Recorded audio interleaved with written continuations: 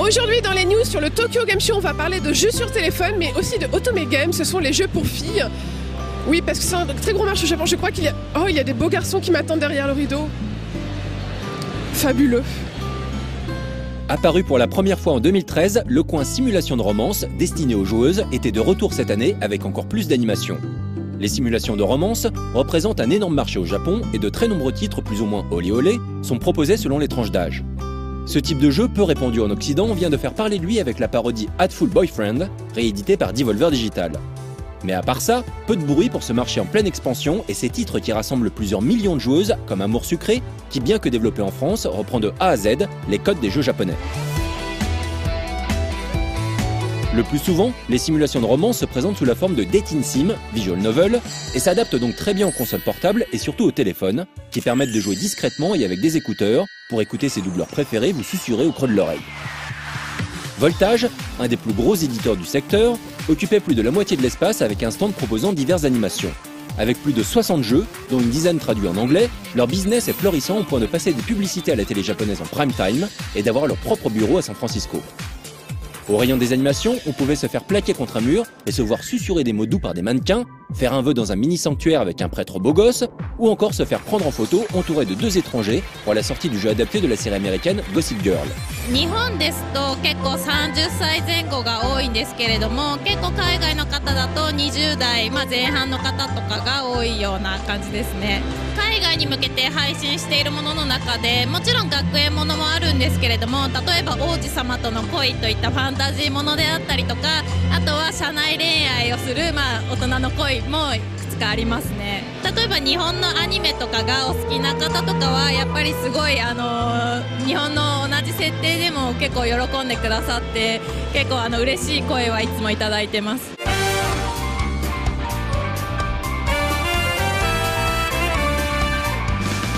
私のおすすめはこちらの「スイートルームでいたずらなキス」というタイトルなんですけれどもで一応こちらのタイトルがあのヒロインがホテルで働いているんですけれどもそのホテルの地下で行われている闇のオークションを目撃したことによって彼女自身がオークションに出展されてしまうというところから始まります。だいたい1話が5分ぐらいでそれがだいたい13話ぐらいまであるので1時間から2時間ぐらいで全てプレイすることができますね。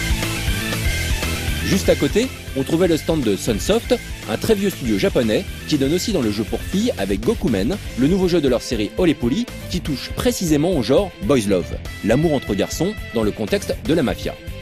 Au milieu du stand, un lit à baldaquin où l'on pouvait passer 5 minutes à se faire séduire par de beaux mafieux qui étaient en fait des filles déguisées. Les studios R Infinity et Ambition étaient également présents dans l'espace.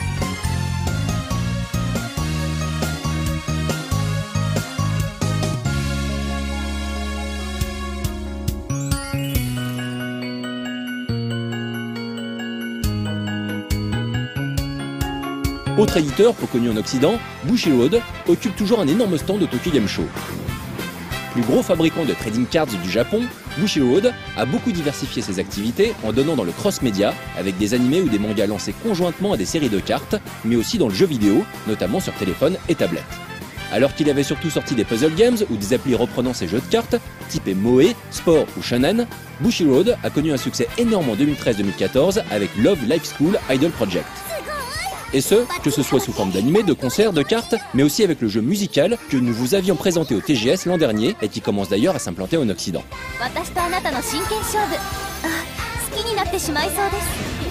Cette année, très peu de jeux sur le stand, presque entièrement dédiés à Milky Holmes, dont les doubleuses donnaient un concert le samedi. Ce jour-là, des milliers de personnes faisaient la queue pendant plusieurs heures pour espérer acheter des produits dérivés exclusifs et y assister au concert. Dans un coin, une moto de course prêtée par l'écurie Evangelion, si annonçait la sortie d'un énième jeu de la vache à lait de Gainax, un puzzle game très basique intitulé Evangelion Battle Mission.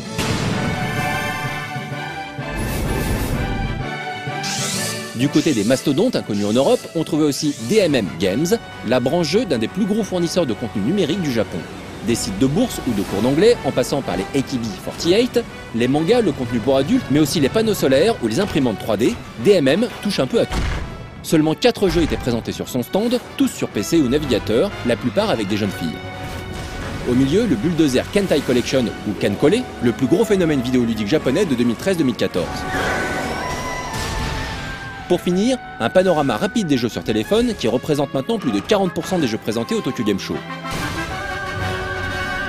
Le paysage des titres mobiles au Japon évolue très vite et pas forcément dans la bonne direction. Tout d'abord, retour à l'ère pré-smartphone et pré-hégémonie Apple Android. Pour télécharger des jeux, qui étaient pratiquement tous payants à l'époque, il fallait passer par un site plateforme ou un portail doté de son propre système de paiement.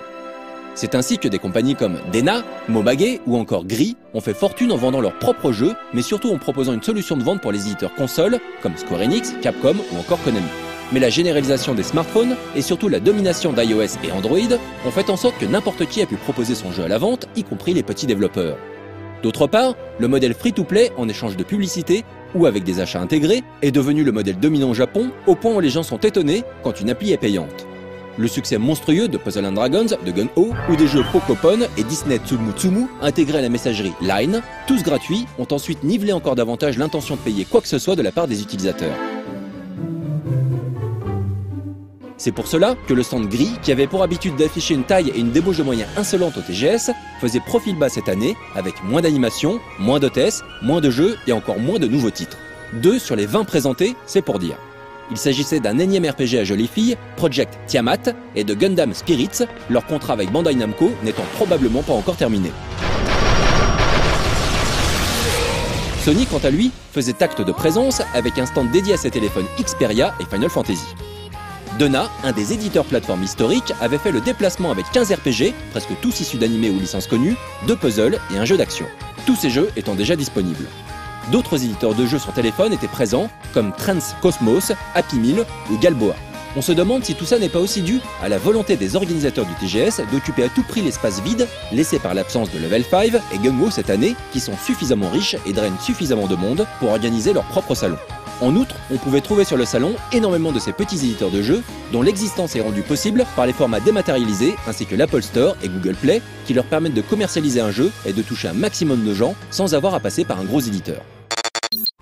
Aujourd'hui, on est sur le stand de Wink Games. Alors, Wink Games, c'est une entreprise qui fabrique des jeux de société au Japon, rien à voir avec les jeux vidéo. Eh bien, ça y est, si, maintenant, ils ont sorti leur premier jeu qui est sur smartphone et téléphone portable et qui est sorti en France et traduit en français. Donc n'hésitez pas. C'est un puzzle game qui s'appelle Mujo euh, avec un très joli design. Voilà, c'est ambiance dieu grec. Donc moi j'ai des joueurs ici et c'est d'envoyer les petites épées, donc c'est les points, les, points d'attaque euh, sur l'ennemi. Alors il faut qu'en fait j'enlève tous les autres euh, trucs de l'écran, les touchants, il faut qu'il y ait au moins trois dalles de connecter pour les enlever. Donc voilà, hop, là par exemple j'en ai enlevé une. Le problème c'est que quand je les enlève, l'ennemi récupère des vies. Donc si je fais uniquement ça, ça ne va pas. Le choix que j'ai pour attaquer, c'est soit Là, voilà, j'ai 4 dalles connectées. Donc, je fais une attaque qui va ne compter que 4 points. Euh, pardon, 5 points. Voilà. Après, j'ai un autre choix, c'est comme ici, concentrer mon attaque. Et là, tout de suite, il y a un multiplicateur qui va faire qu'il y aura beaucoup plus de points. Donc, euh, en fait, le but du jeu, c'est d'arriver à concentrer les épées, etc. Après, il y a des bonus, etc. évidemment, pour envoyer les attaques les plus fortes possibles à l'ennemi euh, sans se faire toucher. Donc là, par exemple, je vais enlever ce gros truc bleu et ça va se rejoindre. Je vais enlever là. Voilà. Donc là, 12, si je concentre, voilà, ça passe à 165. Mais pour le lancer, il faut que j'attende qu'il y ait des tuiles rouges qui soient connectées. Si par exemple, euh, je ne peux plus rien bouger dans le jeu, euh, en fait, je connais très bien le jeu parce que je suis en ce moment, et que je suis bloqué, vous appuyez sur Up pour faire monter d'un cran. Le problème, c'est que parfois il y a des bombes, donc là, comme ça a été le cas, ça peut vous, effacer tout ce que vous aviez construit avant, et euh, c'est dommage. Donc là, j'avais une tuile à 165, elle est partie. Voilà, donc faut réfléchir, est-ce que je fais bien d'enlever ça d'abord ou ça d'abord? Est-ce que je concentre? Sachant que là où on concentre, c'est là on a touché son doigt, donc est-ce que je concentre plutôt là ou plutôt là ou plutôt là? Il faut réfléchir à tout ça en jouant. Et la difficulté monte assez rapidement, c'est pas très cher, c'est leur premier jeu, c'est dispo sur l'App Store français. Et euh, c'est sans achat supplémentaire, hein, sans euh, achat in-app. N'hésitez pas à essayer Mujo, M-U-J-O de Wing Games. Et si vous parlez le japonais, il y a leur jeu de cartes aussi qu'on voit derrière, puisqu'ils fabriquent des jeux de société dont certains sont édités en France, notamment celui qui s'appelle Atali. Voilà.